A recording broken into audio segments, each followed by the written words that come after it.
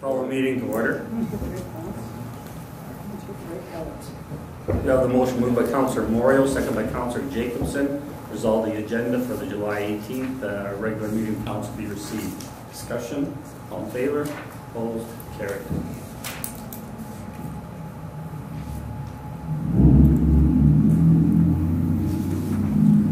We have the motion moved by Councilor Moriaux, second by Councilor Jacobson. Resolve that the minutes of the July 4th, 2017 regular meeting council be adopted as received. Discussion, all in favor, opposed, carried. Okay, item 4.1 on your agenda. Uh, we- Our delegation isn't here, but you have a copy of the letter from the Sapotaweyak Education Authority, where they have a training program for youth. Uh, Any comments, Julie, on that? Um, she came in to see me and um, I asked her if she would want to come and talk to uh, council about it and she said she sure would like that and so she may still, Okay, we can add her on the agenda if she shows up. yeah, yeah. And um, she wanted to talk about this program that they recently just implemented. She apologized for it starting, you know, um, right in summer, but they have been trying to get it started a little just looking for some participation from town businesses or the town itself. Do we have any place in recreation or anything where we could use some? Uh, possibly, yeah, we would, we would talk to Patty about that. Okay. Counselor Jacobson. Uh, on this here, uh, with the uh, Education Authority, we have actually taken advantage of this uh, in our own business, and there's several other businesses in town have as well. But I think that if uh, Margaret does have any students that are available, it would be good to have them assist us with our parks people. It's a Mhm. great opportunity. Counselor Sakal. I see the letter was addressed to the Chamber of Commerce, but did the Chamber actually send this out to other places? I know I did not receive it, I but, okay. I just didn't know how well, uh, how well it was advertised, that- so that people would know that they have this opportunity. And so if Margaret shows up, uh, then we'll add her to the agenda. Okay, we'll go to item five one on your agenda, the municipal finance and advisory services, the pre-election reminders for councilors for uh, October in 2018. Okay, so that's just for information. We'll go to the superintendent works report. Council has a copy of the superintendent works report. Any questions or comments to Derek on the report? Just to add, I have for council's information uh, a draft local improvement bylaw. So there's no resolution or even discussions really. This is just for you to take home and take a look. Um, Basically, it's what we talked about, trying to get a consistent fee, whether it's curb and asphalt, road base, or water and sewer services. There's a price per meter calculated on past jobs for each, and uh, that was used so we can have an actual estimate, or sorry, actual cost out on the estimate, so that they don't have to wait for tenders or anything. So on a bad year for tenders, I guess the town may lose. Sometimes the owners may lose, but this is this will be a consistent cost every time we do a local improvement, and. Uh, this is just for information to read over. If you have any questions, email us. It will be on an upcoming agenda. So we can Whyte. table. Just a query, Derek, uh, an update on 13th, what's happening, how is it going, is, uh, what's its lifespan here? Uh, they just finished the sewer. We're into the south manhole, so it's complete. They have the water main to put in, and uh, they won't have to hold an elevation, so it will be a fraction of the time. Uh, we're hoping to get the water main in before rodeo, and then it'll just be building up the road, and, and we're out of there. So estimated time to complete would be 10 days after rodeo. Councilor Sakal. I guess a couple things. How far are we off on our original estimate on how long that project would have taken? I estimated seven weeks. We started June 15th, So we are we are on our fifth week, so we're going to be one week over over our Just in case, because sometimes the public feels that it's taking longer than it should. well no Just would be able to field questions easier. Yeah, it, it does seem like it's crawling, but uh, you know they were dealing with a lot of water, and we've had issues on the project. It comes with every project, but uh, all in all, uh, with the storm sewer collapse and the rain days, uh, it's not too bad for the length of that project. I think on our website it went up that we would be completely complete by rodeo, and that is not. I definitely did not uh, post that on the website. So whoever put that up there, I guess we'll let them take it down. Second, Council, okay, Okay. Councilor Sakal with a, a second, and then Councilor Friesen. meeting with Grazier Manufacturing on pallet storage for handy van project.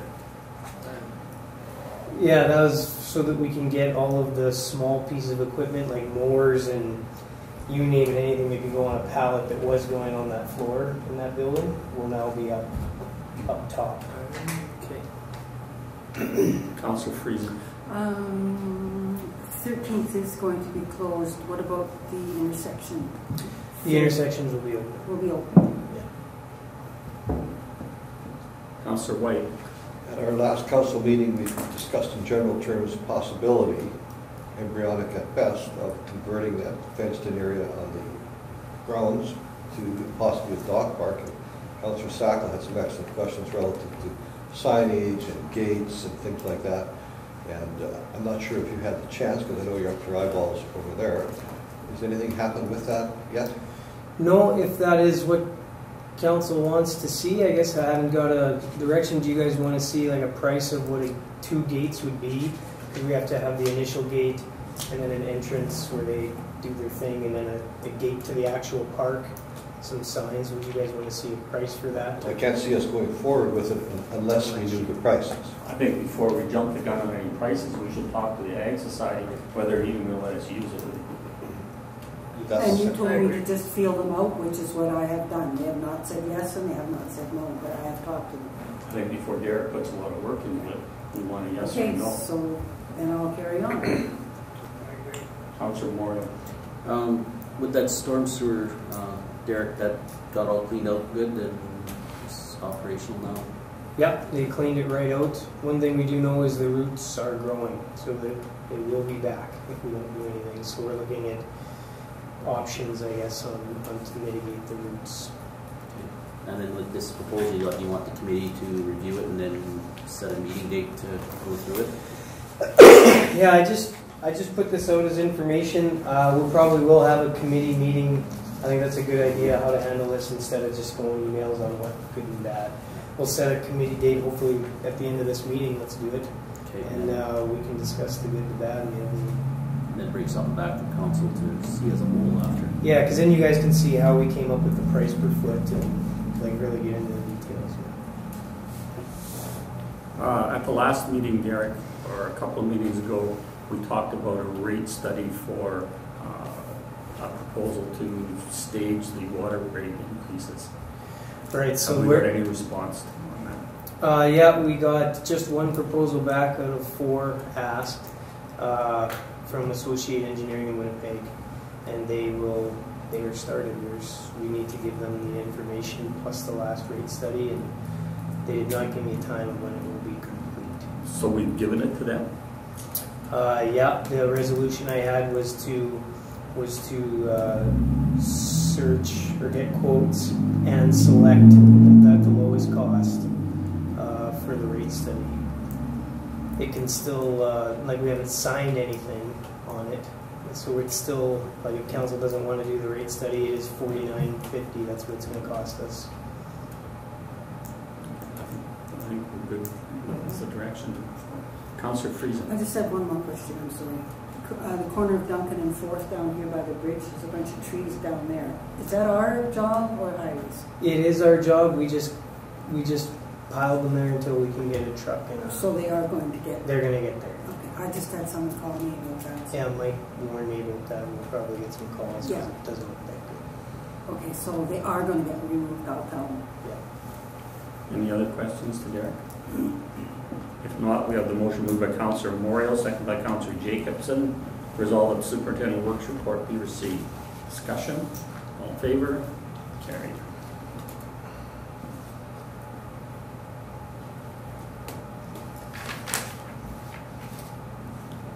Okay, you have the fire department report for June.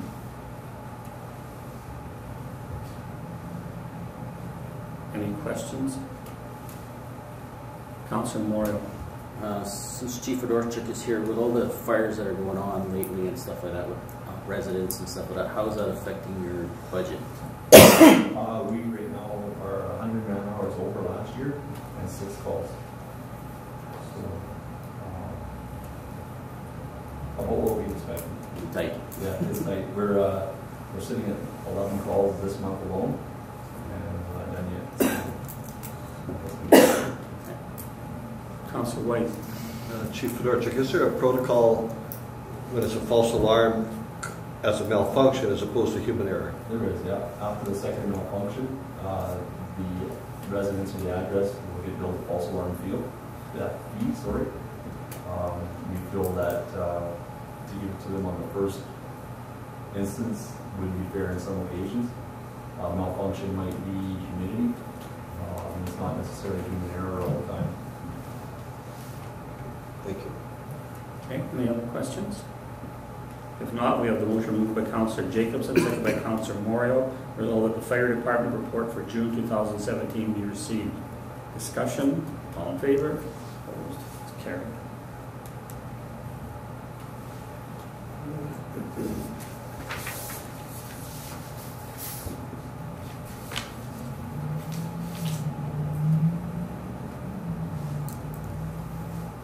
Admin meeting minutes, were they circulated by email? No, they're always put up. They're all, they're always put up. Yeah, they're always Any put up. in the counselors have any document questions on admin meeting minutes?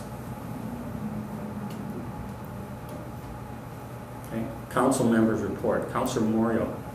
Um, Didn't have any meetings uh, this period, but uh, I had a few uh, people mention to me uh, if we can maybe get word back to Rise to see if they're going to actually, uh, uh, with the new signs that they put up on like on Highway 10 and stuff like that, the trees and the grass is growing up halfway up this sign already, and it's obscured. So I don't know if they have any thoughts or plans to keep those things visible. You mean the signs, uh, like further out, like by Benito and like Yeah, past Benito, out by Ethelbert, out that, that way, and uh, stuff like that.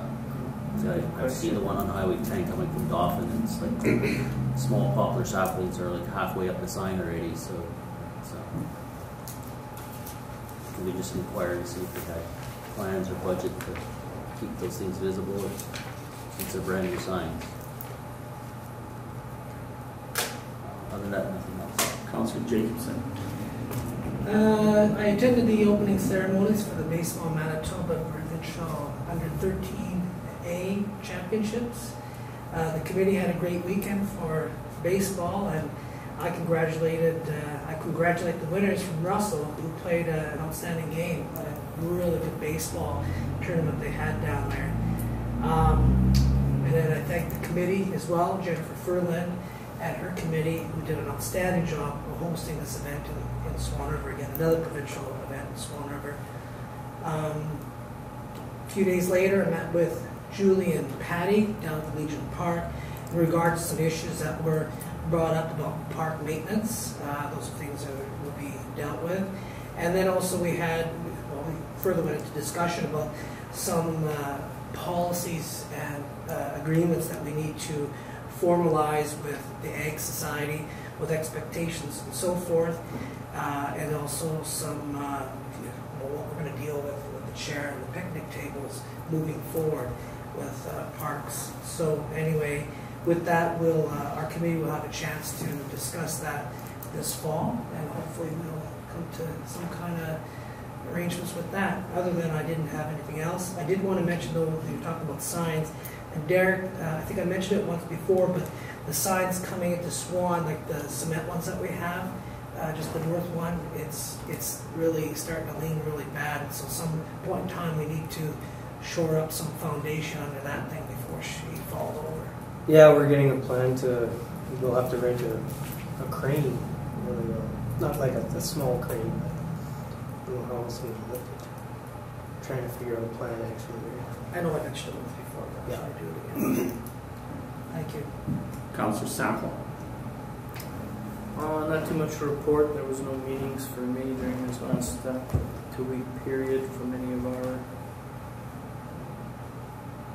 boards I sit on. But anyways, uh, last time Chief Fedorchuk couldn't make it here, and we attended that fire protection seminar in Brandon, and it was uh, very enlightening to say the least. You know, we got a little piece, we've seen a little fraction of what you uh, what you guys have to do and the training you have to take, and really opened our eyes. And I, I know we, I've never been in the fire hall since I've been a kid, basically. And I said, you know, we, we do tours of all the, uh, all of our infrastructure, you know, the town shop, the lagoon, garbage, recycling, but we never had a council tour, I guess, as far as I can remember.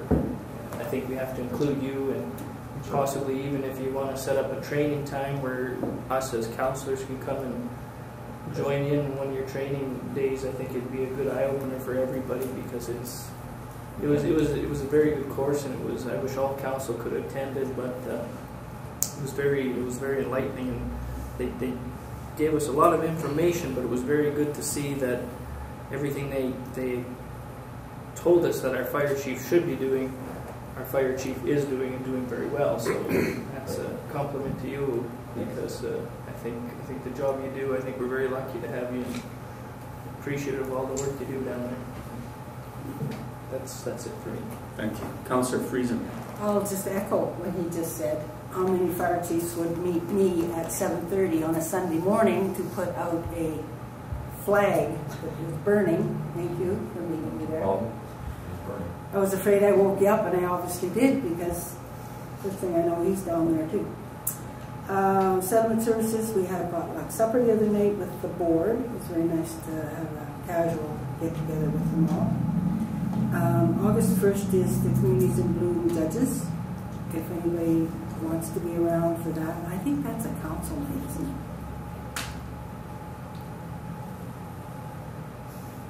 Okay. that's, that's all I have to tell you. Counselor Whyte. Uh, I had the opportunity yesterday to meet with uh, Minister Cullen, Cliff Cullen, Minister of Trade and Commerce, and the possibility of uh, a Manitoban becoming involved with trade and commerce from Thailand, around Livingston specifically. Just, it's completely embryonic to talk. He thought uh, was something he'd like to follow up on. Ron is the vice chair of the Thai Canadian Chamber of Commerce. He's also vice chair of the Asian Chamber of Commerce that represents 22 different countries.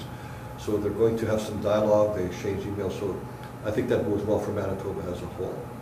We're doing some uh, communicating with Prairie Mountain Health. I got a call today, and all the appointments to the board are staggered. So mine, in fact, was about a six-month appointment. They phoned me today and said, if you'd like to stay on, we would like you to stay on. So I felt uh, positive about that. I could have gone the other way, I suspect.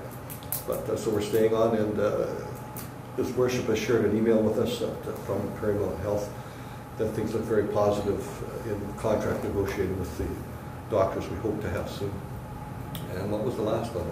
Uh, landing fees, I'm going to, going to sow a seed with council about the possibility of charging landing fees for airplanes landing at our airport, something over 4,000 pounds, for example.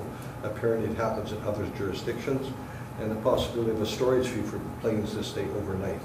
Obviously, there's a catch-22 to that. You charge too much, they won't come. So it's something I, I throw out there for thought. Thank you. Okay, thank you. Really very quiet. The only thing I have, I have a letter from re- retired teachers of Manitoba. Says, Dear Mr. McKenzie, on behalf of the Retired Teachers Association of Manitoba, thank you for bringing greetings on behalf of the town of Swan River to our 2017 annual general meeting and attending the evening reception. The local arrangements made by the Swan Valley Retired Teachers Chapter definitely left our delegates with a good impression of Swan River. Anecdotally, I understand that many of our delegates also enjoyed local restaurants and shopping outside of the EGM activities. Best wishes, Rosalie Bourne, President, Retired Teachers in Manitoba. That's about the only thing that I have. Julie? Um, I've been uh, dealing with uh, Diamond, our software company, uh, for our accounting system, about um, talking about different modules that we own but we're currently not using, so looking into that. Um, I'm currently setting up online staff training for uh, the new Accessibility for Manitobans Act um, because I'm developing that policy as well. That'll, that'll come to council in the next meeting. And um, I also attended the, um, the workshop with, uh, for the fire, fire department, or fire protection workshop, and again, we talked about it at that meeting that you weren't here, but um, I again uh, want to echo what these two have said, that you do a great job, and it makes me feel good that I don't have to do all that work that some of other, the other CAOs have to. So, um, and I appreciated wearing all that equipment for, for two and a half hours. Um, I've arranged uh, a retirement uh, lunch for Esther Nesbitt. She worked at the RCMP office. So um, it is at the Pizza Place at noon this Thursday. And um, I was talking with uh, Calvin Campo uh, from Sapotaweyak, and um, there's a possibility that signing of the agreement will happen August 15th. Okay. And um, that's for me. On behalf of the River, I'd like to thank Esther Esther Nesbitt for her years of service as a clerk in the RCMP office, uh, and to wish her all the best in her retirement. Here, here. And congratulate Calvin Campo and winning the seniors golf tournament in Swan River. Oh, Shooting wow. a 70 for a Wow. senior is pretty awesome, and the par is 76. So we'll continue on. Uh, We bylaw 6, 2017, 6th Avenue Lift Station Upgrade Project borrowing. The motion moved by Councillor Moriaux, second by Councillor Jacobson. Resolved bylaw 6, 2017, being a bylaw, provide for the expenditure and borrowing of funds to upgrade the mechanical piping and pumping and fully replace electrical components, plus installation of additional monitoring equipment at the 6th Avenue wastewater pump station located 314 6th Avenue North, be read a first time. Discussion? All in favor? Opposed? Carried.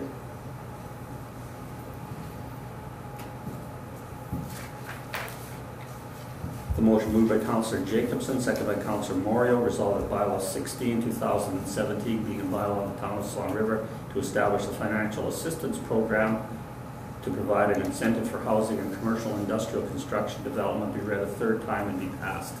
Discussion, all in favor? Opposed, carried.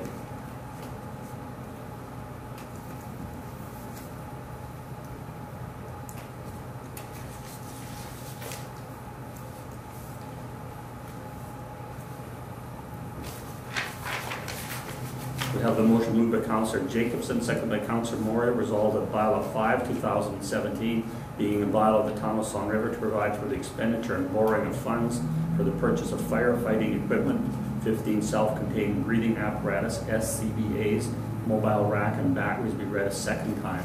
Discussion? All in favor? Opposed? Carried.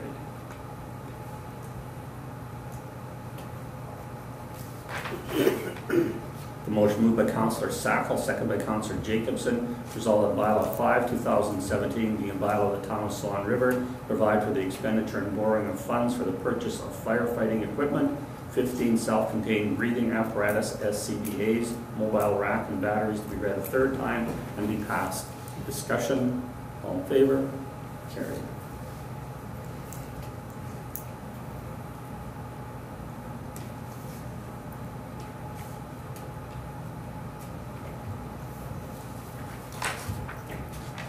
The motion moved by Councillor Sakal, pardon me, moved by Councillor Jacobson, second by Councillor Sakal, resolved that council's follow-up are hereby approved for payment. General Council check 20874 to 20973 for a total of 315417 and payroll account from check 4017 to 4023 for a total of 116234 Any questions to Julie on any of the checks? Councillor Moriaux.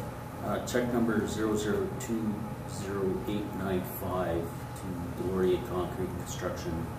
Is that for the Henvan project? Yep. Any other questions?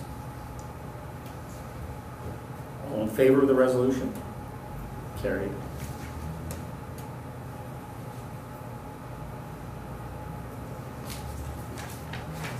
Motion moved by Councillor Whyte, seconded by Councillor Friesen, whereas the capital budget in 2016's financial plan included $300,000 for a vac truck with $100,000 to be borne by the general fund and $200,000 to be borne by reserves, but such purchase was not made until the 2017 fiscal year, and whereas Section 169.5 of the Municipal Act states the council may authorize an expenditure for an amount not provided for in an operating budget or capital budget and may be and may fund the expenditure by transfer from the municipality reserve funds, and section 169.7 states, no public notice or public hearing is required for an expenditure funded by a transfer from a specific purpose reserve unless the expenditure is for a purpose other than for which the reserve is established. Whereas the town of Swan River purchased a sewer jetter hydrovac truck combo unit with accessories at a cost of two hundred and five thousand nine forty-four ninety-two. Therefore, be resolved, two hundred thousand be transferred from the machinery replacement reserve fund to the general operating fund.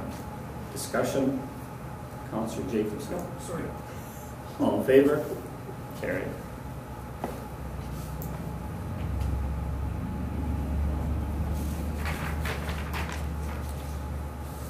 The motion moved by Councillor Whyte, seconded by Councillor Friesen, whereas the capital budget for the year 2017 included loader to be borne by the machinery replacement reserve to a total of $150,000, and whereas additional costs of $1,494.29 pertaining to the purchase of the loader have been recorded since Resolution 217.296 to transfer $105,574.62 from the machine replacement reserve fund to the general operating fund, therefore be it resolved one thousand four hundred and ninety-four twenty-nine be transferred from the machine replacement reserve fund to the general operating fund to cover the additional costs. Discussion, Councillor Moriaux.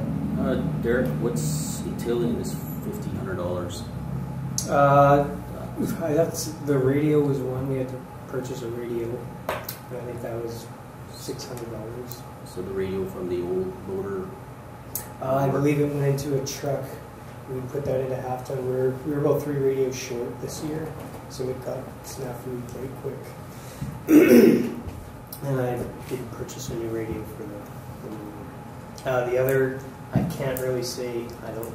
I don't know. I'd have to get back to you. so it would be like potentially deckling and radio and, stuff like that. Yeah, it would be. Uh, I think I think on that expenditure when it was a beacon, but we got one back, so we got a we, we got our money back for that beacon, but this is still an expenditure. so, I don't know so this is not an expenditure, expenditure to the vendor that sold us the loader, this is additional stuff that we put on it after we received it. Correct. That wasn't on the tender. That's right. Any other discussion? All in favor? Carried.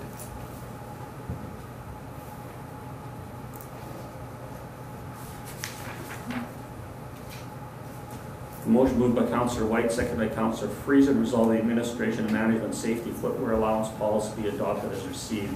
Discussion? All in favor? Carried.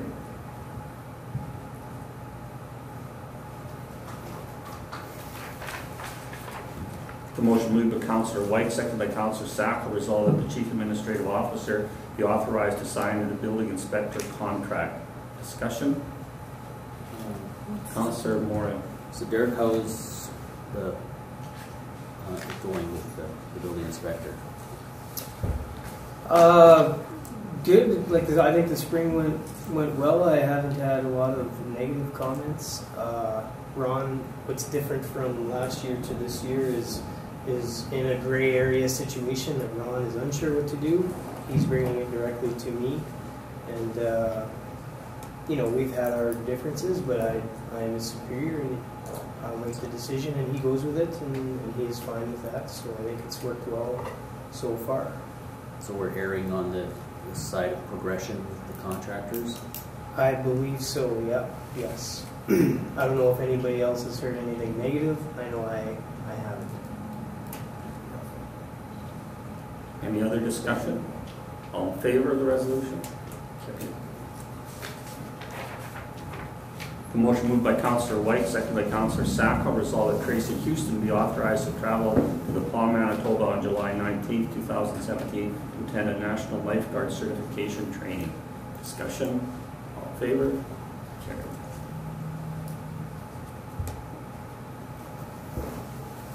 The motion moved by Councillor Whyte, seconded by Councillor Friesen, uh, resolved that pursuant to section 152.3 of the Municipal Act, council go with the committee and close the meeting to the public. Discussion, all in favor?